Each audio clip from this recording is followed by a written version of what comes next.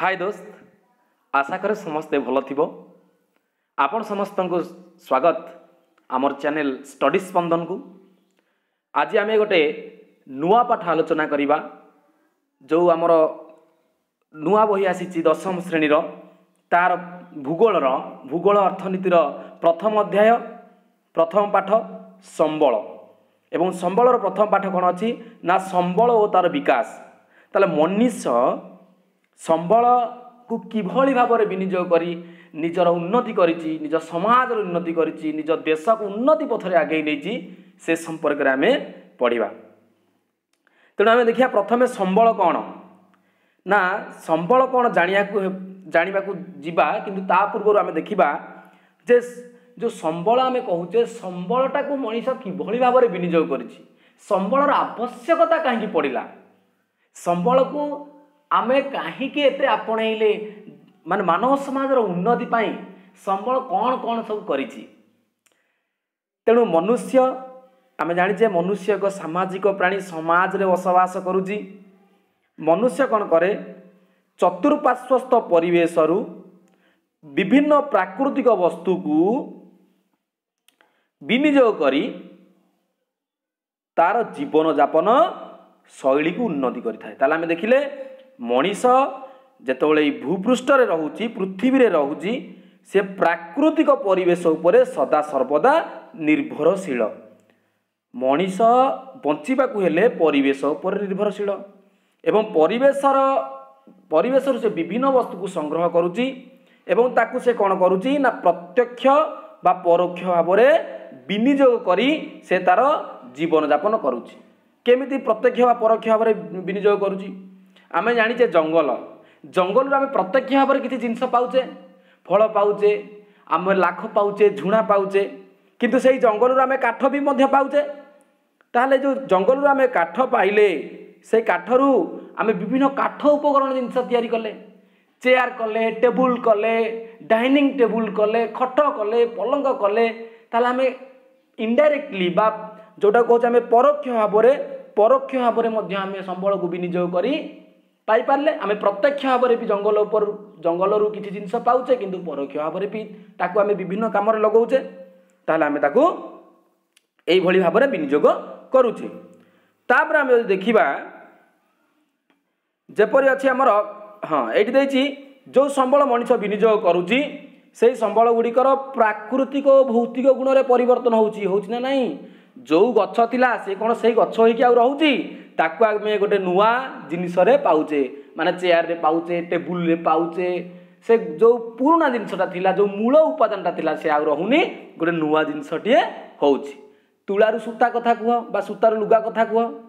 ଖଣିଜ ପଦାର୍ଥରୁ ବିଭିନ୍ନ ଯନ୍ତ୍ରାଂଶକୁ ଆମେ ଗୋଟେ ସାଧାରଣତଃ ଲୁହା ପଥରରୁ ଆମେ ବିଭିନ୍ନ ପ୍ରକାରର ଲୌହ ଉପକରଣ ପାଇପାରୁଛେ। ଯେମିତିକି ଆମେ ଆଲମିରା ପାଇପାରୁଛେ। ଆଲମିରାଟା ଦେଖିବାକୁ ହେଲେ କେତେ ସୁନ୍ଦର ଲାଗୁଛି କିନ୍ତୁ ସେ କେଉଁଥିରୁ ତିଆରି ହେଇଛି ଗୋଟେ ପଥରରୁ ଗୋଟେ ଲୁହା ପଥରରୁ। ଗୃହ ଉପକରଣ ଇତ୍ୟାଦି ପ୍ରସ୍ତୁତ ଓ ବ୍ୟବହୃତ ହୋଇଥାଏ। ତାହେଲେ ଆମେ ଦେଖିବା ଯଦି ଯେଉଁ କଞ୍ଚାମାଲ ଥିଲା ବା ଯେଉଁ ମୂଳ ଉପାଦାନ ଥିଲା ସେ ଯେଉଁ ସେଇ ମୂଳ ସାମଗ୍ରୀ ଗୁଡ଼ିକ ଅପେକ୍ଷା ସେଥିରୁ ଯେଉଁ ଉତ୍ପାଦିତ ହେଲା ଉତ୍ପାଦ ଗୁଡ଼ିକ ଯେଉଁ ଜିନିଷ ଗୁଡ଼ିକ ଯେଉଁ ପ୍ରଡ଼କ୍ଟ ଗୁଡ଼ିକ ବାହାରିଲା ସେ ଅଧିକ ଟଙ୍କା। ଆମେ ଜାଣିଛେ ସୋରିଷ। ସୋରିଷ ଯଦି ଖାଲି କିଣିବା ଅଳ୍ପ ପଇସା ପଡ଼ିବ। କିନ୍ତୁ ଯଦି ସୋରିଷକୁ ଆମେ ତେଲ କରିକି ବଜାରରୁ କିଣିବା ପ୍ୟାକେଟରେ କିଣିବା ତାହେଲେ ଆମକୁ ଅଧିକ ଦେବାକୁ ପଡ଼ୁଛି ନା ନାହିଁ ପଡ଼ୁଛି। ତମେ ସେଇଭଳି ଭାବରେ ଦେଖ ଗହମ ଯଦି ତମେ କିଣିବ ଅଳ୍ପ ଟଙ୍କା ପଡ଼ୁଛି କିନ୍ତୁ ତମେ ତାକୁ ଅଟା ଯଦି କିଣିକି ଆଣୁଛ ପ୍ୟାକେଟରେ ସେ ଟିକେ ଅଧିକ ପଡ଼ୁଛି। ତାହେଲେ ଏଥିରୁ ଆମେ କ'ଣ ଜାଣିବା? ନା ଯେଉଁ ସାମଗ୍ରୀ ଗୁଡ଼ିକ ରହିଲା ତା ଅପେକ୍ଷା ସେଥିରୁ ଯେଉଁ ଜିନିଷ ତିଆରି ହୁଏ ତାର ମୂଲ୍ୟ ଅଧିକ। ଏହାପରେ ଆମେ ଦେଖିବା ସମ୍ବଳର ସଂଜ୍ଞା। ସମ୍ବଳ କାହାକୁ ଆମେ କହିବା? ଆମେ ଭଲସେ ବୁଝିବା। ପିଲାମାନେ ଆମେ ଏଭଳି ଭାବରେ ବୁଝିଥିବା ଯେ ଯେପରି ଆମେ ସମ୍ବଳର ସଂଜ୍ଞା ହେଉ କି ଅନ୍ୟ କୌଣସି ଜିନିଷ ହେଉ ଆମକୁ ଘୋଷିବାକୁ ପଡ଼ିବନି। ଆମେ ଏଭଳି ଭାବରେ ବୁଝି ଯାଇଥିବା ଯେ ଆମକୁ ଲେଖିଲା ବେଳକୁ ଆମ ମନ ମସ୍ତିଷ୍କକୁ ଆପେ ଆପେ ପଳେଇ ଆସିବ। ତାହେଲେ କ'ଣ ବୁଝିବା ସମ୍ବଳର ସଂଖ୍ୟା କ'ଣ? ବହୁତ ବଡ଼ କଥାଟେ କହିଛି କିନ୍ତୁ ତାକୁ ଆମେ ବହୁତ ଇଜିଲି ବୁଝିଦେବା। କ'ଣ ବୁଝିବା? ଯେ ସମ୍ବଳ କ'ଣ? ନା ମନୁଷ୍ୟର ବ୍ୟକ୍ତିଗତ ତଥା ସାମାଜିକ ଆବଶ୍ୟକତା ପୂରଣ କରିବାରେ ଉପଯୋଗୀ ଓ ମୂଲ୍ୟବାନ ବିବେଚିତ ହେଉଥିବା ପରିବେଶର ବିଭିନ୍ନ ପଦାର୍ଥ ଜୈବ ହେଉ ଅଜୈବ ହେଉ ତଥା ଶକ୍ତି ଇତ୍ୟାଦି ଯାହା ପ୍ରାଦ୍ୟୋଗିକ ଦୃଷ୍ଟିକୋଣରୁ ସୁଗମ୍ୟ ଆର୍ଥନୀତିକ ଦୃଷ୍ଟିକୋଣରୁ ସମ୍ଭବ ଏବଂ ସାଂସ୍କୃତିକ ଦୃଷ୍ଟିକୋଣରୁ ଗ୍ରହଣଯୋଗ୍ୟ ତାକୁ ସମ୍ବଳ କହିବା। ତାହେଲେ ସମ୍ବଳ କାହାକୁ କହିବା? ଆମେ ବୁଝିବା। ସମ୍ବଳ କ'ଣ? ଆମେ ଗୋଟେ ଉଦାହରଣ ନେବା। ଆମେ ନେବା ପେଟ୍ରୋଲିୟମ ବା ପେଟ୍ରୋଲ କଥା କୁହ। ଆମେ ନେଲେ ପେଟ୍ରୋଲ। ଯଦି ଆମେ ପେଟ୍ରୋଲ ନେବା ପେଟ୍ରୋଲ କଥା ଚିନ୍ତା କରିବା ତାହେଲେ ପେଟ୍ରୋଲ କ'ଣ? ଆମେ ଯେଉଁଟା କହୁଛେ ଖଣିଜ ତୈଳ ସିଏ କ'ଣ? ନା ଗୋଟେ ଶକ୍ତି ଶକ୍ତି ସମ୍ବଳ ତାକୁ ଆମେ କହୁଛେ ଶକ୍ତି କହୁଛେ। ଆଚ୍ଛା ସେଇ ଯେଉଁ ଶକ୍ତି ବା ପେଟ୍ରୋଲଟା ଆମର ମଣିଷର ବ୍ୟକ୍ତିଗତ ଭାବରେ ଦରକାର ନା ନାହିଁ? ଆମେ ଗୋଟେ ଜାଗାରୁ ଅନ୍ୟ ଜାଗାକୁ ଯାଉଛେ ଗାଡ଼ି ନେଇକି। ଗାଡ଼ିରେ କ'ଣ ଆମେ ପକାଉଛେ? ପେଟ୍ରୋଲ ପକାଉଛେ ନା ନାହିଁ? ପେଟ୍ରୋଲ ପକାଉଛେ। ଏବଂ ଆମ ଆମର ବ୍ୟକ୍ତିଗତ ଆବଶ୍ୟକତା ଆମ ସମାଜର ବି ଆବଶ୍ୟକତା ଅଛି ନା ନାହିଁ? ସମାଜର ଧରନ୍ତୁ କିଛି ଲୋକ କୃଷି କାର୍ଯ୍ୟ କରୁଛନ୍ତି ତାଙ୍କ ଟ୍ରାକ୍ଟରରେ ସେ ପେଟ୍ରୋଲ ଡିଜେଲ ପକାଉଛନ୍ତି ନା ନାହିଁ? ବା ପାଣି ଉଠାଉଛନ୍ତି ପକାଉଛନ୍ତି ନା ନାହିଁ? ତାହେଲେ ଗୋଟେ ସମାଜର ଆବଶ୍ୟକତା ବି ସିଏ ବନିଗଲାଣି ଖଣିଜ ତୈଳ।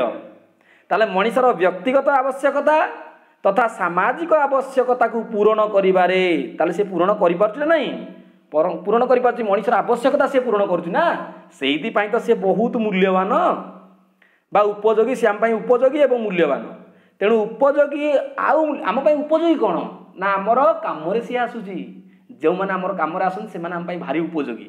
ଯେମିତି ତ ଆପଣମାନେ ଆପଣମାନେ ମୋ ଭିଡ଼ିଓ ଦେଖୁଛନ୍ତି ତେଣୁ ଆପଣମାନେ ହେଉଛନ୍ତି ମୋ ପାଇଁ ମୂଲ୍ୟବାନ ସମ୍ବଳ। ତେଣୁ ପରିବେଶର ବିଭିନ୍ନ ପଦାର୍ଥ ତାହେଲେ ମଣିଷର ବ୍ୟକ୍ତିଗତ ଆଉ ସାମାଜିକ ଆବଶ୍ୟକତାକୁ ପୂରଣ କରିବାରେ ଉପଯୋଗୀ ପୁଣି ମୂଲ୍ୟବାନ ବିବେଚିତ ପରିବେଶର ବିଭିନ୍ନ ପଦାର୍ଥ ତାହେଲେ ପରିବେଶର ପଦାର୍ଥ ପରିବେଶରୁ ଆମେ ବିଭିନ୍ନ ଜିନିଷ ପାଉଛେ ସେ ଜୈବ ହେଉ ଅଜୈବ ହେଉ ଶକ୍ତି ହେଉ ଇତ୍ୟାଦି ଯାହା ପ୍ରାଦ୍ୟୋଗିକ ଦୃଷ୍ଟିକୋଣରୁ ଅସୁଗମ୍ୟ ତାହେଲେ ପ୍ରାଦ୍ୟୋଗିକ କହିଲେ କ'ଣ ପ୍ରାଦ୍ୟୋଗିକ କହିଲେ ପିଲେ ଆମେ ଓଡ଼ିଆ ଶବ୍ଦଟା ଟିକେ ବୁଝିଲା ବେଳକୁ ଅସୁବିଧା ହେଉଛି ଆମେ ଇଂଲିଶରେ ବୁଝିବା ଯଦି ଆମେ ଟେକ୍ନୋଲୋଜି। ତାହେଲେ ପ୍ରାଦ୍ୟୋଗିକ ଦୃଷ୍ଟିକୋଣରୁ ସୁଗମ୍ୟ ଆରାମସେ ହେଇପାରୁଥିବ। ଏବଂ ଆର୍ଥନୀତିକ ଦୃଷ୍ଟିକୋଣରୁ ସମ୍ଭବ ଏବଂ ଆମ ପାଖରେ ପଇସା ଥିବ ତାକୁ ଆମେ କାମରେ ଲଗେଇବା ପାଇଁ ବା ଆମେ ତାକୁ ପଇସା ଥିବ ଆମେ ତାକୁ ନୂଆ ଜିନିଷଟେ ବାହାର କରିବା ପାଇଁ ଏବଂ ସାଂସ୍କୃତିକ ଦୃଷ୍ଟିକୋଣରୁ ଗ୍ରହଣଯୋଗ୍ୟ ଏବଂ ଆମ ସଂସ୍କୃତି ତାକୁ ଆପଣେଇ ନେଉଥିବ। କେମିତି ଆପଣ ନେଉଥିବ ଆମେ ଦେଖିବା? ତାହେଲେ ପ୍ରାଦ୍ୟୋଗିକ ଦୃଷ୍ଟିକୋଣରୁ ସୁଗମ୍ୟ ମନେ କରନ୍ତୁ ଆମେ ଖଣିଜ ତୈଳ। ଆମ ଗାଁରେ ଜଣେ ଆରାଧ୍ୟ ଦେବତା ତାଙ୍କର ମନ୍ଦିର ଅଛି। ଆମେ ସବୁଦିନ ସକାଳେ ସନ୍ଧ୍ୟାରେ ଯାଇକି ତାକୁ ମୁଣ୍ଡିଆ ମାରୁଛେ ପୂଜା କରୁଛେ ମେଳା ମହୋତ୍ସବ କରୁଛେ। କିନ୍ତୁ ସେଇ ମନ୍ଦିର ତଳକୁ ଦିନେ ଆମକୁ ଖବର ମିଳିଲା ଯେ ପେଟ୍ରୋଲିୟମ ମିଳୁଛି ବା ପେଟ୍ରୋଲିୟମ ଅଛି ବା ପେଟ୍ରୋଲିୟମର ଖଣି ଅଛି। ତାହେଲେ ଆମେ କ'ଣ କରିବା? ପ୍ରାଦ୍ୟୋଗିକ ଆମ କତିରେ କ'ଣ ପ୍ରାଦ୍ୟୋଗିକ ଅଛି କି? ଆମ କତିରେ ଟେକ୍ନୋଲୋଜି ଅଛି କି? ତାକୁ ଖୋଳିବା ପାଇଁ ବା ତାକୁ ବାହାର କରିବା ପାଇଁ। ଟେକ୍ନୋଲୋଜି ନାହିଁ। ଏବଂ ଆମ କତିରେ ଅର୍ଥନୈତିକ ପଇସା ଅଛି କି ଟେକ୍ନୋଲୋଜି କରିବା ପାଇଁ ବା ଲୋକ ଲଗେଇବା ପାଇଁ ବା ମେସିନ୍ ଲଗେଇବା ପାଇଁ ନାହିଁ। ଏବଂ ଆମ ସଂସ୍କୃତି ତାକୁ କ'ଣ ଗ୍ରହଣଯୋଗ୍ୟ କରିବ କି ଆମ ଯେଉଁ ସମାଜ କହିବ କି ମନ୍ଦିରଟା ଆମ ଯେଉଁ ଆରାଧ୍ୟ ଦେବତା ବହୁ ପୁରାତନ କାଳରୁ ଯାହାକୁ ଆମେ ମୁଣ୍ଡିଆ ମାରି ଆସୁଛେ ଯାହାକୁ ପୂଜା କରି ଆସୁଛେ ତାଙ୍କ ମନ୍ଦିରକୁ ଭାଙ୍ଗିକି ସେଠୁ ଆମେ ପେଟ୍ରୋଲ ଖଣି କରିବା ପାଇଁ ଆମ ସଂସ୍କୃତି କେବେ ହେଲେ ଆମକୁ କହିବ ନା। ତାହେଲେ ଆମେ କାହାକୁ ସମ୍ବଳ ବୋଲି କହିବା? ଯେ ଯଦି ଆମ ସଂସ୍କୃତି ଦୃଷ୍ଟିକୋଣରୁ ସେ ଗ୍ରହଣଯୋଗ୍ୟ ହେଲା ମନେ କରନ୍ତୁ ଗୋଟେ ଜାଗାରେ ଆମର ପେଟ୍ରୋଲିୟମ ବାହାରୁଛି ତାହେଲେ ଆମ ସାଂସ୍କୃତିକ ଦୃଷ୍ଟିକୋଣରୁ ସେ ଆମ ପାଇଁ ଗ୍ରହଣଯୋଗ୍ୟ ହେଉଛି ନା ନାହିଁ? ଏବଂ ଆର୍ଥନୈତିକ ଦୃଷ୍ଟିକୋଣରୁ ସମ୍ଭବ ଆମ ତାକୁ ବାହାର କରିବା ପାଇଁ ତାକୁ କାମରେ ଲଗାଇବା ପାଇଁ ଆମ ପାଖରେ ପଇସା ଥିବା ଦରକାର ଆମ ଗାଁରେ ଗୋଟେ ଖଣି ବାହାରିଲା କିନ୍ତୁ ଆମ କତିରେ ପଇସା ନାହିଁ ଲୋକ ଲଗେଇବା ପାଇଁ ମେସିନ୍ ଲଗେଇବା ପାଇଁ କିନ୍ତୁ ଆମେ ତାକୁ ବାହାର କରିପାରିବା କି ସମ୍ବଳକୁ କାମରେ ଲଗେଇ ପାରିବା କି ଏବଂ ଆମ କତିରେ ଟେକ୍ନୋଲୋଜି ବି ନାହିଁ ପ୍ରାଦ୍ୟୋଗିକ ନାହିଁ ଟେକ୍ନୋଲୋଜି ନାହିଁ ଧରନ୍ତୁ ବାଉଁଶ ଅଛି ଆମ ଗାଁରେ ମୁଁ ବାଉଁଶ ଦେବି ଆପଣଙ୍କୁ ବାଉଁଶରୁ କ'ଣ କାଗଜ ତିଆରି କରିପାରିବେ ଆପଣ କାହିଁକି କରିପାରିବେନି କାରଣ ଆମେ ପ୍ରାଦ୍ୟୋଗିକ ଆମ କତିରେ ନାହିଁ ଟେକ୍ନୋଲୋଜି ଆମ କତିରେ ନାହିଁ ଟେକ୍ନୋଲୋଜି କିଣିବା ପାଇଁ ଆମ ପାଖରେ ପଇସା ଥିବା ଦରକାର।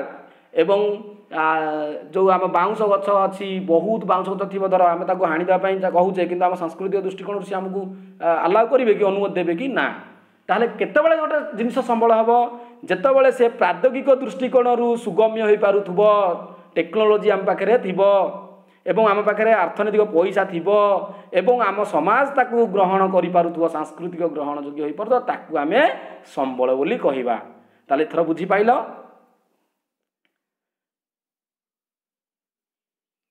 ବର୍ତ୍ତମାନ ଆମେ ଆସିବା ଯେ ଗୋଟେ ପଦାର୍ଥ କେତେବେଳେ ସମ୍ବଳରେ ପରିଣତ ହେବ ଆମେ ଜାଣିଲେ ତ ସମ୍ବଳ କାହାକୁ କୁହାଯାଏ ବର୍ତ୍ତମାନ ଆମେ ଦେଖିବା ଗୋଟେ ପଦାର୍ଥ କେତେବେଳେ ଆମେ ତାକୁ ସମ୍ବଳ ବୋଲି କହିବା ନା ପ୍ରାକୃତିକ ପରିବେଶ ମଧ୍ୟରେ ଅବ୍ୟବହୃତ କିମ୍ବା ଅଜ୍ଞାତ ହୋଇ ରହିଥିବା ପଦାର୍ଥ ସମ୍ବଳ ରୂପେ ବିବେଚିତ ହୋଇନଥାଏ ଯଦି ପ୍ରାକୃତିକ ପରିବେଶରେ ସିଏ ଅଛି ଅବ୍ୟବହୃତ ଅବସ୍ଥାରେ ଅଛି ଅଜ୍ଞାତ ଅବସ୍ଥାରେ ଅଛି।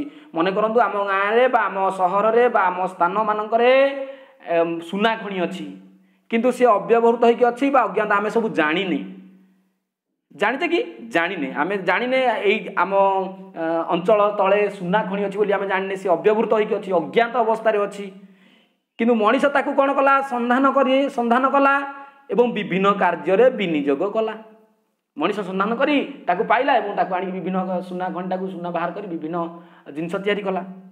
ତାହେଲେ ତାକୁ ଆମେ କହୁଛେ ସମ୍ବଳ। ତାହେଲେ କେତେବେଳେ ଗୋଟେ ଜିନିଷ ସମ୍ବଳ ହେବ?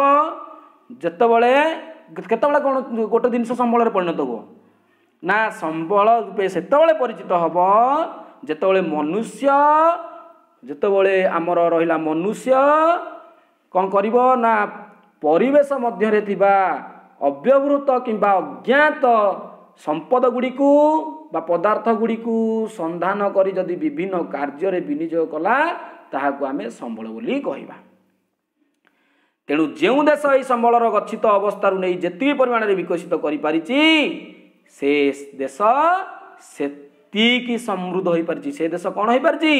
ସେତିକି ସମୃଦ୍ଧ ହୋଇପାରିଛି। ଯେଉଁ ଦେଶ ନିଜର ସମ୍ବଳକୁ ନେଇ ଯେତିକି ପରିମାଣରେ ସିଏ କାମରେ ଲଗାଇ ପାରିଛି ଗଚ୍ଛିତ ଅବସ୍ଥାରୁ ନେଇ ଯେତିକି ପରିମାଣରେ ବିକଶିତ କରିପାରିଛି ସେ ସେତେ ସମୃଦ୍ଧ। ଯେମିତି ଆମେ ଦେଖିବା ଚୀନ ଆମେରିକା ବର୍ତ୍ତମାନ ଭାରତ ମଧ୍ୟ ତାଙ୍କ ସାଙ୍ଗରେ ପାଦ ମିଳିଲାଣି ତାଙ୍କ ସାଙ୍ଗରେ ବହୁତ ଆଗକୁ ଗଲାଣି। ଆମ ଭାରତରେ ମଧ୍ୟ କମ୍ ପରିମାଣରେ ଖଣିଜ ସମ୍ପଦ ନାହିଁ ବହୁତ ଅଛି ଭାରତରେ ବହୁତ ଅଛି। ତେଣୁ ସମ୍ବଳ ଗୁଡ଼ିକ ମଧ୍ୟରୁ କେତେକ ସମ୍ବଳ ସିଧାସଳଖ ବ୍ୟବହାର ହେଉଥିବା ବେଳେ କେତେକ ସମ୍ବଳକୁ ବିଭିନ୍ନ ଉପାୟରେ ରୂପାନ୍ତରିତ କରି ଆମେ ବ୍ୟବହାର କରୁ ତାହେଲେ ଏଇଠି ଗୋଟେ ପ୍ରଶ୍ନ ଆସିବ ଯେ ସମ୍ବଳର ରୂପାନ୍ତରିତ ପ୍ରକ୍ରିୟା କହିଲେ କ'ଣ ବୁଝ? ସମ୍ବଳର ରୂପାନ୍ତର ପ୍ରକ୍ରିୟା ସମ୍ପର୍କରେ ଲେଖ ରୂପାନ୍ତରଣ ପ୍ରକ୍ରିୟା ସମ୍ପର୍କ ତାହେଲେ ସମ୍ବଳର ରୂପାନ୍ତରଣ ପ୍ରକ୍ରିୟା କ'ଣ? ପରୀକ୍ଷାରେ ପଡ଼ିବ ସମ୍ବଳର ରୂପାନ୍ତରଣ ପ୍ରକ୍ରିୟା କ'ଣ? ନା ସମ୍ବଳର ରୂପାନ୍ତରଣ ପ୍ରକ୍ରିୟା ଆମେ ତାକୁ ସେତେବେଳେ କହିବା କେତେବେଳେ ମଣି ସମ୍ବଳର ରୂପାନ୍ତରଣ ପ୍ରକ୍ରିୟା କାହାକୁ ଆମେ କହିବା? ନା ସମ୍ବଳକୁ ବିଭିନ୍ନ ଉପାୟରେ ରୂପାନ୍ତରିତ କରି ସମ୍ବଳକୁ ବିଭିନ୍ନ ଉପାୟରେ ରୂପାନ୍ତରିତ କରି ବ୍ୟବହାର ଉପଯୋଗୀ କରାଯାଏ। ଏହି ପ୍ରକ୍ରିୟାରେ ପରିବେଶର ପ୍ରକୃତି ମଣିଷ ପ୍ରାଦ୍ୟକ ଅନୁଷ୍ଠାନ ମଧ୍ୟରେ ପାରସ୍ପର ନିର୍ଭରଶୀଳତା ଥାଏ। ତେଣୁ ଆମେ ଦେଖିବା ରୂପାନ୍ତରଣ କ'ଣ? ରୂପାନ୍ତରଣ ହେଉଛି ମଣିଷ କ'ଣ କରୁଛି ନା ବିଭିନ୍ନ ଉପାୟରେ ସମ୍ବଳକୁ ରୂପାନ୍ତରିତ କରି ତାକୁ ନୂଆ ଜିନିଷ ବାହାର କରୁଛି। ମନେକର ଆମେ ନେବା ବାଉଁଶ। ବାଉଁଶରୁ ଆମେ କାଗଜ ତିଆରି କରିବା କେମିତି ତିଆରି କରିବା? ତାହେଲେ ପ୍ରଥମେ ଆମେ କାହା ଉପରେ ନିର୍ଭର କରେ? ପ୍ରକୃତି ଉପରେ ନିର୍ଭର କଲେ। ପ୍ରକୃତିରୁ ଜଙ୍ଗଲରୁ ଆମେ ବାଉଁଶ ଆଣିଲେ ଏବଂ ସେଇ ମଣିଷ ତାକୁ ନେଇକି ବିଭିନ୍ନ ଯନ୍ତ୍ରପାତିରେ ପୁରେଇ ତାକୁ କାଟିଲା ଏବଂ ପ୍ରାଦ୍ୟୋଗ ଦରକାର ହେଲା ପ୍ରାଦ୍ୟୋଗ କଲେ ଟେକ୍ନୋଲୋଜି ନୂଆ ନୂଆ ମେସିନାରୀ ଦରକାର ହେଲା ନହେଲେ ଆମେ କ'ଣ ଖାଲି ବାଉଁଶରୁ ଦା ଆଉ କଟୁରୀ ଧରି ଆମେ କ'ଣ ତିଆରି କରିପାରିବା କାଗଜ କି? ନା ତା ପାଇଁ ଟେକ୍ନୋଲୋଜି ଦରକାର। ଏବଂ ଗୋଟେ ଗୋଟେ ଅନୁଷ୍ଠାନ ଯେଉଁଟାକୁ ଆମେ କହୁଛେ କମ୍ପାନୀ ଯିବା ପ୍ଲାଣ୍ଟସ୍ ବା ଇଣ୍ଡଷ୍ଟ୍ରିଆଲ ଯେଉଁଟା ଆମେ କହୁଛେ ଯେଉଁ କମ୍ପାନୀ ଗୁଡ଼ା ତା ଭିତରେ ଗୋଟେ ନିର୍ଭରଶୀଳତା ଥାଏ। ସେଠି ଲୋକମାନେ ବହୁତ କାମ କରନ୍ତି ତାହେଲେ ସେ ଯେଉଁ ଅନୁଷ୍ଠାନଟା ହେବା ପାଇଁ କ'ଣ ଦରକାର କରୁଛି? ପ୍ରକୃତି ଦରକାର କରୁଛି ଏବଂ ପ୍ରକୃତିକୁ ଦରକାର କରିସାରିଲା ପରେ ବିଭିନ୍ନ ଟେକ୍ନୋଲୋଜି ବି ଦରକାର ପଡ଼ୁଛି। ତାକୁ ଆମେ କେମିତି ବୁଝିବା? ଦେଖିବା ଚାଲ। ଏଇଭଳିଆ ଦେଖ ଗୋଟେ ଡାଇଗ୍ରାମ ଅଛି। ଏଇ ଡାଇଗ୍ରାମଟାକୁ ଟିକେ ବୁଝିଦେବା। ଏଇଠି ରହିଲା ମନୁଷ୍ୟ। ମନୁଷ୍ୟ ରହିଲା କ'ଣ? ନା ମଣିଷ ହେଉଛି ଯେଉଁ ସମ୍ବଳରେ ସମ୍ବଳ ବିନିଯୋଗ କ୍ଷେତ୍ରରେ ବ୍ୟବହାର କ୍ଷେତ୍ରରେ ମଣିଷର ଭୂମିକା ବହୁତ ଗୁରୁତ୍ୱପୂର୍ଣ୍ଣ। ମଣିଷ ନଥିଲେ ଏହି ପ୍ରକୃତିରୁ ମିଳୁଥିବା ସମ୍ବଳକୁ କିଏ ବ୍ୟବହାର କରିବ? ବା ଟେକ୍ନୋଲୋଜି କିଏ ବାହାର କରୁଛି ବା କିଏ ବ୍ୟବହାର କରୁଛି? ବିଭିନ୍ନ ଅନୁଷ୍ଠାନ କିଏ ଗଠନ କରୁଛି? ମଣିଷ ଗଠନ କରୁଛି। ତେଣୁ ବିଭିନ୍ନ ଏଇ ଯେଉଁ ଅଛି ଆମର ଡାଇଗ୍ରାମଟା ତାକୁ ଟିକେ ବୁଝିବା। ମଣିଷ କ'ଣ କରୁଛି? ଦେଖ ଏଇ ଆନ୍ତଃନିର୍ଭରଶୀଳତା କେମିତି? ମଣିଷ ପ୍ରାକୃତିକ ପରିବେଶ ଉପରେ ନିର୍ଭର କଲା। ସେଠୁ ସିଏ କ'ଣ କଲା ଏବଂ ବିଭିନ୍ନ ଟେକ୍ନୋଲୋଜି ନିଜେ ମଣିଷ ବାହାର କରିଛି ତାକୁ ମଧ୍ୟ ମଣିଷ ଆଣିଲା ଅନ୍ୟ ମଣିଷ ନେଇକି ତାକୁ ନିର୍ଭର କଲେ ନିର୍ଭର କରିକି ପ୍ରାକୃତିକ ପରିବେଶରୁ ବିଭିନ୍ନ ଜିନିଷ ଆଣି ତିଆରି କଲେ ଏବଂ ସେଥିପାଇଁ ଅନୁଷ୍ଠାନ ମଧ୍ୟ ଦରକାର ପଡ଼ିଲା। ତାହେଲେ ଅନୁଷ୍ଠାନରେ କିଏ ଥାଆନ୍ତି? ମଣିଷ ଥାଆନ୍ତି। ଅନୁଷ୍ଠାନରେ କ'ଣ ଥାଏ? ପ୍ରାଦ୍ୟୋଗ୍ୟ ଥାଏ। ଅନୁଷ୍ଠାନରେ କ'ଣ ଥାଏ? ଭୌତିକ ପରିବେଶ ବା ପ୍ରକୃତିରୁ ମିଳୁଥିବା ଜିନିଷ ଥାଏ। ତାକୁ ନେଇ ଅନୁଷ୍ଠାନ ହୁଏ। ଅନୁଷ୍ଠାନ ହେବା ପାଇଁ ହେଲେ ଭୌତିକ ପରିବେଶ ବି ଦରକାର। ଗୋଟେ ପ୍ରାଦେୟିକ ଯେଉଁ ଟେକ୍ନୋଲୋଜି ସେ କାହାକୁ ନେଇ କାମ କରିବ ପ୍ରକୃତିକୁ ନେଇ କାମ କରିବ ଏମାନଙ୍କ ଭିତରେ ଗୋଟେ ସମ୍ପର୍କ ଥାଏ ଗୋଟେ ପାରସ୍ପରିକ ସମ୍ପର୍କ ଥାଏ। ତାହେଲେ ଏଥରକ ଆମେ ସାର୍ ବୁଝିପାଇଲେ ଯେଉଁ ଡାଇଗ୍ରାମ ଥିଲା ବୁଝିପାଇଲେ ଆମେ। ତାପରେ ଆମେ ଦେଖିବା ଯେ ଅନେକ ଲୋକ ଭାବନ୍ତି ଯେ ସମ୍ବଳ ହେଉଛି ପ୍ରକୃତିର ମୁକ୍ତ ଦାନ କିନ୍ତୁ ଏହା ଯଥାର୍ଥ ନୁହେଁ। କାହିଁକି ନା ମାନବ ସମ୍ବଳ କ'ଣ? ସମ୍ବଳ ହେଉଛି ମାନବୀୟ କାର୍ଯ୍ୟକଳାପର କ୍ରିୟାତ୍ମକ ବସ୍ତୁ। ମନୁଷ୍ୟ ଯେଉଁ କାର୍ଯ୍ୟ କରୁଛି ତାର ଗୋଟେ କ୍ରିୟାତ୍ମକ ବସ୍ତୁ ହେଉଛି ସମ୍ବଳ। ସମ୍ବଳର ବ୍ୟବହାର କ୍ଷେତ୍ରରେ ମଣିଷର ଭୂମିକା ବହୁତ ଗୁରୁତ୍ୱପୂର୍ଣ୍ଣ। କାରଣ ମନୁଷ୍ୟକୁ କ'ଣ କୁହାଯାଏ? ନା ସମ୍ବଳର ସ୍ରଷ୍ଟା ଉପଭୋକ୍ତା କ୍ଷୟକାରୀ କାରକ ଏଇଟା ବଢ଼ିବ କାରଣ ଦର୍ଶାରେ ଯେ ମନୁଷ୍ୟକୁ ସମ୍ବଳର ସ୍ରଷ୍ଟା କାହିଁକି କୁହାଯାଏ? କାହିଁକି ନା ମଣିଷ ସମ୍ବଳର ସ୍ରଷ୍ଟା ସମ୍ବଳ ନିଜେ ତିଆରି କରୁଛି କିଏ? ମଣିଷ ତିଆରି କରୁଛି ବିଭିନ୍ନ ପ୍ରଦ୍ୟୋଗକୁ ନେଇ ଅନୁଷ୍ଠାନ ମାନଙ୍କରେ ଟେକ୍ନୋଲୋଜିକି ନେଇ ପ୍ରଦ୍ୟୋଗକୁ ନେଇ ମଣିଷ ବିଭିନ୍ନ ସମ୍ବଳ ତିଆରି କରୁଛି। ବା ଯେଉଁ ପ୍ରାକୃତିକ ସମ୍ବଳକୁ ବିନିଯୋଗ କରି ନୂଆ ନୂଆ ଜିନିଷ ବାହାର କରୁଛି ତେଣୁ ଅର୍ଥନୈତିକ ଭୂଗୋଳରେ ମନୁଷ୍ୟକୁ ଏକ ମୁଖ୍ୟ କର୍ତ୍ତା ଭାବରେ ଗ୍ରହଣ କରାଯାଏ। ତାହେଲେ ପରୀକ୍ଷାରେ ପଡ଼ିବ ଅର୍ଥନୈତିକ ଭୂଗୋଳରେ ମନୁଷ୍ୟକୁ କାହିଁକି ଏକ ମୁଖ୍ୟ କର୍ତ୍ତା ଭାବେ ଗ୍ରହଣ କରାଯାଏ? କାରଣ ସମ୍ବଳର ସମ୍ବଳକୁ ବ୍ୟବହାର କ୍ଷେତ୍ରରେ ମଣିଷର ଭୂମିକା ଗୁରୁତ୍ୱପୂର୍ଣ୍ଣ।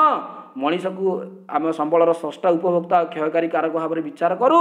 ତେଣୁ ମନୁଷ୍ୟକୁ ଜଣେ ଅର୍ଥନୈତିକ ଭୂଗୋଳରେ ମୁଖ୍ୟ କର୍ତ୍ତା ଭାବରେ ଗ୍ରହଣ କରାଯାଇଥାଏ। କାହିଁକି ଗ୍ରହଣ କରାଯାଇଥାଏ? ମଣିଷ କାହିଁକି ମୁଖ୍ୟ ହେଲା? କାରଣ ଉତ୍ପାଦନ ବଣ୍ଟନ ଓ ବ୍ୟବହାର କ୍ଷେତ୍ରରେ ବା କ୍ଷୟରେ ଉତ୍ପାଦନ ହେଉ ନିଜେ ପ୍ରଡକ୍ସନ୍ କରିବା ତାକୁ ଡିଷ୍ଟ୍ରିବ୍ୟୁସନ୍ କରିବା ବାଣ୍ଟିବା ତାକୁ କାମରେ ଲଗାଇବା ବ୍ୟବହାର କରିବା ତାକୁ ନଷ୍ଟ କରିଦେବା ସବୁ ପ୍ରକ୍ରିୟାରେ ମଣିଷ କ'ଣ କରୁଛି ସାମିଲ ହେଉଛି। ଯେମିତି କାଗଜ କଥା କହିଲି କାଗଜ ମଣିଷ ତିଆରି କଲା ନା ନାହିଁ ତାକୁ ଦୋକାନୀମାନଙ୍କରେ ଆମର ମାନେ ମଣ୍ଟନ କଲା ନା ନାହିଁ ବିଭିନ୍ନ ଅଞ୍ଚଳକୁ? ଆମେ ଆଣିକି ତାକୁ ଲେଖାଲେଖି କଲେ ବ୍ୟବହାର କଲେ ଶେଷରେ କ'ଣ କଲେ କାଗଜକୁ ଆମେ ଯେତେବେଳେ ଲେଖାଲେଖି ସରିଲା ଆମେ ତାକୁ ନଷ୍ଟ କରିଦେଲେ। ଖାତା ହେଇକି ସେ ନଷ୍ଟ ହେଇଯାଉଛି ତୁମେ ଜାଣିଥିବ ନଷ୍ଟ ହେଇଯାଉଛି। ତେଣୁ ସବୁ କ୍ଷେତ୍ରରେ ମଣିଷ ମୁଖ୍ୟ ଭୂମିକା ଗ୍ରହଣ କରୁଛି। ତାପରେ ଆମେ ଦେଖିବା ଯେ ଏଇ ଯେଉଁ ମଣିଷ ଅଛି ତାପରେ ଆମେ ଯିବା ନେକ୍ସଟ ପେଜକୁ ପେଜ ନମ୍ବର ଟୁ ନୂଆ ବହି। ଏଇଠି ଦେଖିବା ଯେ ମନୁଷ୍ୟ ଯେଉଁ ସମ୍ବଳର କ'ଣ କଲା ନା ସମ୍ବଳର ଉତ୍ପାଦନ ବଣ୍ଟନକୁ କଲା। ତାପରେ ଆମେ ଦେଖିବା ଯେ ହଁ ସେଥିପାଇଁ ମନୁଷ୍ୟକୁ ମଧ୍ୟ ଏକ ସମ୍ବଳ ଭାବରେ ଗ୍ରହଣ କରାଯାଇଥାଏ ଯାହାକୁ ମାନବ ସମ୍ବଳ କୁହାଯାଏ।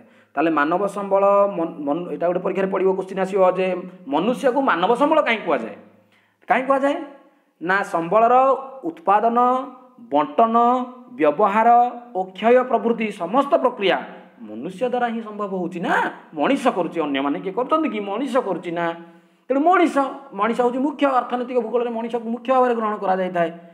ଯାହାକୁ ଆମେ ମାନବ ସମ୍ବଳ ଭାବରେ କହୁ। ତେଣୁ କୌଣସି ଦେଶର ଲୋକମାନଙ୍କର ଜୀବନ ଧାରଣର ମାନ ଉକ୍ତ ଦେଶର ସମ୍ବଳ ଓ ଜନସଂଖ୍ୟାର ଗୁଣ ଆକାର ଉପରେ ନିର୍ଭର କରେ। ତାହେଲେ କୌଣସି ଦେଶର ଲୋକମାନଙ୍କର ଜୀବନ ଧାରଣ ଆମେ କହୁଛେ ଆମେରିକା ଲୋକ ଏତେ ଡେଭଲପଡ୍ ବା ଆମେ କହୁଛେ ଜାପାନ ଜର୍ମାନ ଲୋକ ଏତେ ଆଗରେ କାହିଁକି? କାରଣ ତାଙ୍କର କୌଣସି ଦେଶର ଲୋକମାନଙ୍କର ଜୀବନ ଧାରଣ ମାନ କ'ଣ କରୁଛି? କାହା ଉପରେ ନିର୍ଭର କରୁଛି? ସମ୍ବଳ ଉପରେ ନିର୍ଭର କରୁଛି। ତାଙ୍କ ଜନସଂଖ୍ୟାର ଗୁଣ ଆକାର ଉପରେ ନିର୍ଭର କରୁଛି। ତାଙ୍କ ଦେଶରେ ପ୍ରଚୁର ସମ୍ବଳ ଅଛି ଏବଂ ତାଙ୍କର ଜନସଂଖ୍ୟା କମ୍। ଭାରତରେ ମଧ୍ୟ ପ୍ରଚୁର ସମ୍ପଦ ଅଛି। କିନ୍ତୁ ଭାରତର ଜନସଂଖ୍ୟା ଟିକେ ଅଧିକ। ଆମେ ଜାଣିଛେ ଚୀନ ଦଳକୁ ଭାରତର ଜନସଂଖ୍ୟା ଭାରତ ଦ୍ୱିତୀୟ ସ୍ଥାନରେ ଆସୁଛି। ତେଣୁ କୌଣସି ଦେଶର ସଭ୍ୟତା କିମ୍ବା ଅର୍ଥନୈତିକ ବିକାଶ ଉକ୍ତ ଦେଶର ଜନସଂଖ୍ୟା ପ୍ରାକୃତିକ ସମ୍ବଳ ଓ ମନୁଷ୍ୟମାନଙ୍କର ସମ୍ବଳ ବ୍ୟବହାର ଗୁଣ ଉପରେ ନିର୍ଭର କରୁଛି। ତାହେଲେ କୌଣସି ଦେଶର ସଭ୍ୟତା ତାହେଲେ କୌଣସି ଦେଶ ଆମେ ଦେଖିବା ବହୁତ ଆଗରେ କି ପଛରେ କେମିତି ଜାଣିବା? ନା ସେଇ ଦେଶର ଜନସଂଖ୍ୟା କେତେ ଏବଂ ତା'ର ପ୍ରାକୃତିକ ସମ୍ବଳ କେତେ ଅଛି? ଏବଂ ମନୁଷ୍ୟମାନଙ୍କର ସମ୍ବଳ ବ୍ୟବହାର ଗୁଣ କେତେ ଅଛି? ବହୁତ ଆମେ ଚୀନ ଦେଖୁଛେ ବହୁତ ଆଗରେ। କାହିଁକି? ଚୀନରେ କ'ଣ ହେଉଛି? ତା ଜନସଂଖ୍ୟା ବହୁତ ଅଧିକ ଥାଇପାରେ କିନ୍ତୁ କ'ଣ? ତା ପ୍ରାକୃତିକ ସମ୍ବଳ ଅଧିକ ଅଛି। ଏବଂ ତାଙ୍କର ଲୋକମାନଙ୍କର ବ୍ୟବହାରୀ ଗୁଣ ବହୁତ ଅଧିକ। ସେଠି ଲୋକମାନେ ବହୁତ ପରିଶ୍ରମୀ। ବହୁତ ପରିଶ୍ରମୀ ତେଣୁ ତାଙ୍କ ଜନସଂଖ୍ୟା ବି ବହୁତ ଥାଉ। କିନ୍ତୁ ତାଙ୍କର ପ୍ରାକୃତିକ ସମ୍ବଳ ଯେହେତୁ ବହୁତ ଅଛି ଏବଂ ତାଙ୍କର ଲୋକମାନଙ୍କର ଯେଉଁ ସମ୍ବଳ ବ୍ୟବହାରୀ ଗୁଣ ବହୁ ପ୍ରବଳ ମାତ୍ରାରେ ଅଛି ତେଣୁ ସେ ତାଙ୍କର ବିଭିନ୍ନ ଜିନିଷ ତିଆରି କରୁଛନ୍ତି। ଆମେ ଯେକୌଣସି ଜିନିଷରେ ଦେଖୁଛେ ମାନେ ଚାଇନିଜ୍ ଜିନିଷ।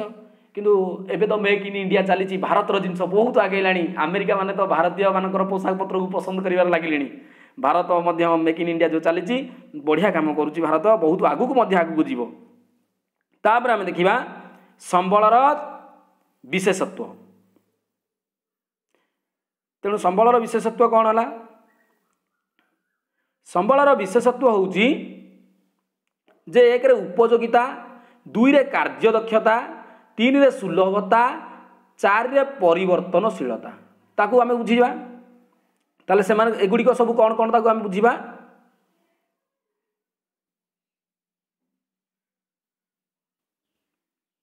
ତେବେ ବର୍ତ୍ତମାନ ଆମେ ଦେଖିବା ସମ୍ବଳର ଚାରିଗୋଟି ବିଶେଷତ୍ୱ କ'ଣ? ସମ୍ବଳରେ ବହୁତ ପରୀକ୍ଷାରେ ପଡ଼ିଲା ଭଳିଆ ଗୋଟେ କୋଶ୍ଚିନ୍ଟେ। ସମ୍ବଳର ଚାରିଗୋଟି ବିଶେଷତ୍ୱ ହେଉଛି ଏକରେ ଉପଯୋଗିତା ଦୁଇରେ କାର୍ଯ୍ୟଦକ୍ଷତା ତିନିରେ ସୁଲଭତା ଚାରିରେ ପରିବର୍ତ୍ତନଶୀଳତା। ଗୋଟି ଗୋଟି ଆମେ ବୁଝିବା। ଜମା ବ୍ୟସ୍ତ ହୁଅନି। ଆମେ ବୁଝିଯିବା ଘୋଷିବାକୁ ପଡ଼ିବନି। ବହୁତ ଭଲ ଭାବରେ ବୁଝିଯିବା। ଉପଯୋଗିତା କ'ଣ? ସମ୍ବଳର ଉପଯୋଗିତା କ'ଣ? ନା ଏକରେ ସେ ମଣିଷ ସମାଜର ସେ ବ୍ୟବହାର ଉପଯୋଗୀ ହେବା ଦରକାର? କେମିତି ବ୍ୟବହାର ଉପଯୋଗୀ ହେବା ଦରକାର? ମନେ କରନ୍ତୁ ଖଣିଜ ତୈଳ। ଖଣିଜ ତୈଳ ମଣିଷର ବ୍ୟବହାରରେ ଆସୁଛି ନା ନାହିଁ ଆସୁଛି?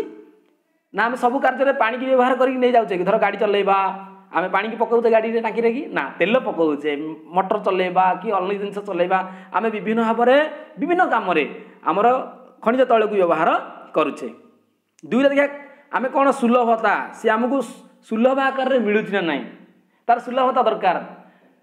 ତା ମାନେ ବହୁତ ଟଙ୍କା ଆମକୁ ଖର୍ଚ୍ଚ କରିବାକୁ ପଡ଼ୁନଥିବ ତା ବହୁତ ପରିମାଣରେ ବି ଆମକୁ ଆଭେଲେବୁଲ୍ ହେଇପାରୁଥିବ। ଆଭେଲେବିଲିଟି ମାନେ ଆମକୁ ମିଳିପାରୁଥିବ ସହଜରେ। ଯେମିତି ଭାରତ ଆମ ଓଡ଼ିଶା ଓଡ଼ିଶାରେ ଲୁହାପଥର ପ୍ରଚୁର ପରିମାଣରେ ଅଛି। ଆମକୁ ସହଜରେ ମିଳିଯାଉଛି ନା ନାହିଁ ତେଣୁ ଓଡ଼ିଶାରେ ବହୁତ କଳିଙ୍ଗନଗରରେ ବହୁତ କଳକାରଖାନା ହେଇଛି ତେଣୁ ତାର ସୁଲଭତା ଥିବା ଦରକାର।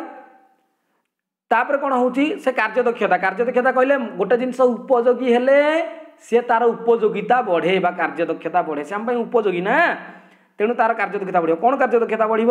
ନା ବିଭିନ୍ନ ପ୍ରକ୍ରିୟା ମାଧ୍ୟମରେ ମନୁଷ୍ୟର ଆବଶ୍ୟକତା ପୂରଣ କରିବାରେ ସହାୟକ ହେବା ଆବଶ୍ୟକ। ବିଭିନ୍ନ ପ୍ରକ୍ରିୟା ମାଧ୍ୟମରେ ମନୁଷ୍ୟର ଆବଶ୍ୟକତାକୁ ପୂରଣ କରୁଥିବ।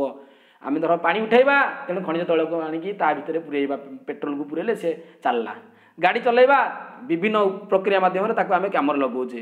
ବା ଆମେ ଖଣିଜ ତୈଳରୁ ମହମ ତିଆରି କରିଦେଉଛେ ବା ଆମେ ଖଣିଜ ତୈଳରୁ କ'ଣ ଭେସଲିନ୍ ତିଆରି କରିଦେଉଛେ ଡିଜେଲ ତିଆରି କରିଦେଉଛେ କିରୋସିନ ତିଆରି କରୁଛେ। ରାତିରେ ଆମେ ଜାଳିବା ପାଇଁ କିରୋସିନ ବ୍ୟବହାର କରୁଛେ। କରୁଛେ ନା ନାହିଁ ତାହେଲେ ବିଭିନ୍ନ ପ୍ରକ୍ରିୟା ମାଧ୍ୟମରେ ସିଏ କ'ଣ କରୁଛି ନା ମନୁଷ୍ୟର ଆବଶ୍ୟକତାକୁ ପୂରଣ କରୁଛି ଏବଂ ବ୍ୟବହାର ଅନୁସାରେ ବୈଜ୍ଞାନିକ ଉପରେ ଏହାକୁ ପରିବର୍ତ୍ତନ କରାଯାଇପାରୁଥିବ ତାକୁ ଚେଞ୍ଜେବିଲିଟି ଚେଞ୍ଜ କରାଯାଇପାରୁଥିବ। ଗୋଟେ ଜିନିଷ ଆମେ ବ୍ୟବହାର ଧରନ୍ତୁ ଆମେ ଖଣିଜ ତୈଳକୁ ଅନ୍ୟ ବାଟରେ ଲଗେଇବାକୁ ଚାହୁଁଛେ ସେଥିରୁ ଖଣିଜ ତୈଳରୁ କିରୋସିନ ବାହାର କରିବାକୁ ଚାହୁଁଛେ। ବୈଜ୍ଞାନିକ ଉପରେ ଅନ୍ୟ ଜିନିଷଟେ ବାହାରିଲା କିରୋସିନ ବାହାରିଲା ଖଣିଜ ତୈଳରୁ ଆମର ପେଟ୍ରୋଲ ବାହାରିଲା ପେଟ୍ରୋଲିୟମରୁ ଆମର ବାହାରିଲା ଡିଜେଲ ବାହାରିଲା। ସେ ଅଲଗା ଅଲଗା କାମରେ ଲାଗୁଛି ତେଣୁ ବୈଜ୍ଞାନିକ ଉପରେ ଆଉ ଗୋଟେ କ'ଣ କଥା? ନା ଯଦି ଗୋଟେ ଜିନିଷ ଆମର ସରିଯାଉଛି ବା ଆମେ ତାକୁ ବ୍ୟବହାର କରୁଛେ ତାକୁ ବିଜ୍ଞାନ ବୈଜ୍ଞାନିକ ଉପରେ ମଧ୍ୟ ତାକୁ ପରିବର୍ତ୍ତନ କରାଯାଇପାରୁଛି। ଯେମିତି ଆମର କାଗଜ ଚିରା କାଗଜ ଛିଣ୍ଡା କାଗଜକୁ ନେଇ ସେଠି କ'ଣ ହେଉଛି? ବିଭିନ୍ନ ପ୍ରକାରର ଅଲଗା ଜିନିଷ ତିଆରି କାଗଜ ତିଆରି ହେଉଛି ମୋଟା କାଗଜ ତିଆରି ହେଉଛି। ତେଣୁ ବୈଜ୍ଞାନିକ ଉପରେ ସେ ପରିବର୍ତ୍ତନ ହୋଇପାରୁଥିବା ଦରକାର।